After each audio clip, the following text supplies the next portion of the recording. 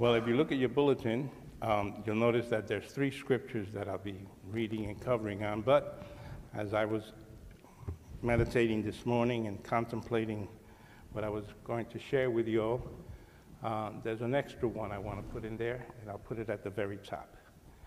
And it's found in 2 Timothy chapter 3.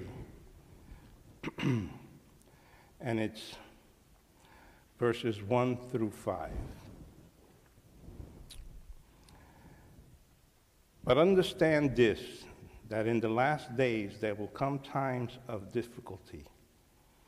For people will be lovers of self, lovers of money, proud, arrogant, abusive, disobedient to their parents, ungrateful, unholy, heartless, unappeasable, slanderous, without self control, brutal, not loving good treacherous, reckless, swollen with conceit, lovers of pleasure rather than lovers of God, having the appearance of godliness, but denying its power. Avoid such people. Now, since we're already in Timothy, let's move to chapter 2, verse 15.